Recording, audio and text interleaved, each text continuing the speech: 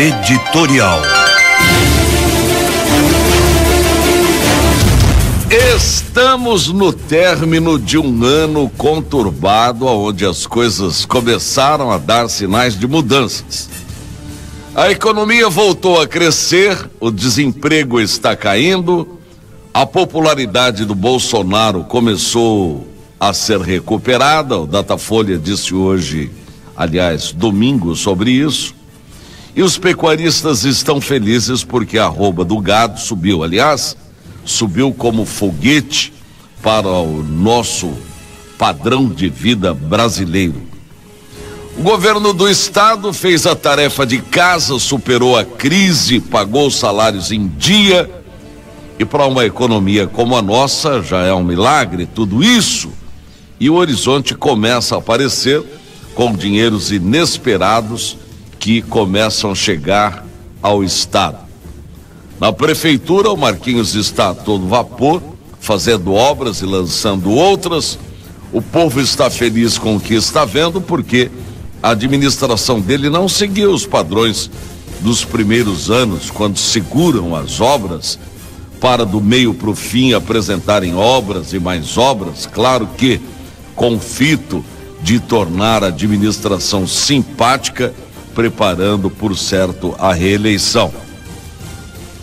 O que não entendo, e muita gente também não, é o sintomático aparecimento de milagreiros, de bonzinhos, fazendo mágicas por todos os lados.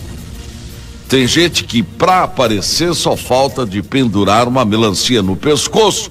E todos esses mágicos sabem e têm consciência que isso poderá lhes dar popularidade para que se lancem como os bonzinhos do amanhã, a fim de que você se simpatize ou pelo menos ouça falar deles para que cheguem até você na tentativa de convencê-lo de que podem muito bem representá-lo na eleição do próximo ano.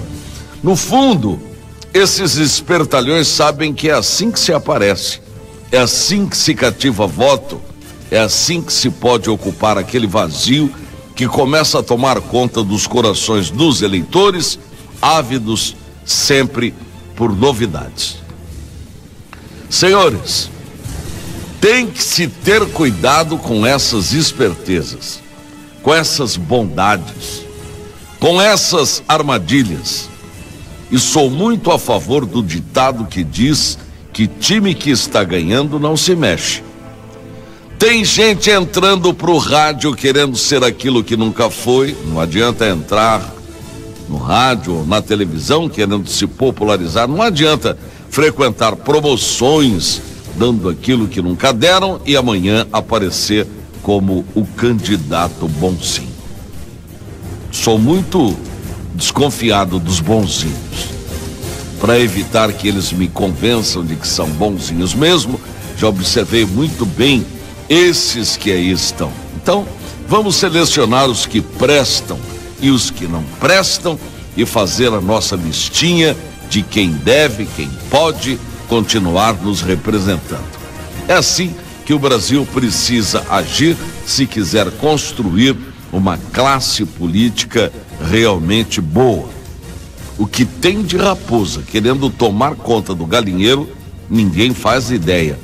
Eles se misturam para confundir os eleitores, mas podem estar certos. Tem muita gente querendo se arranjar.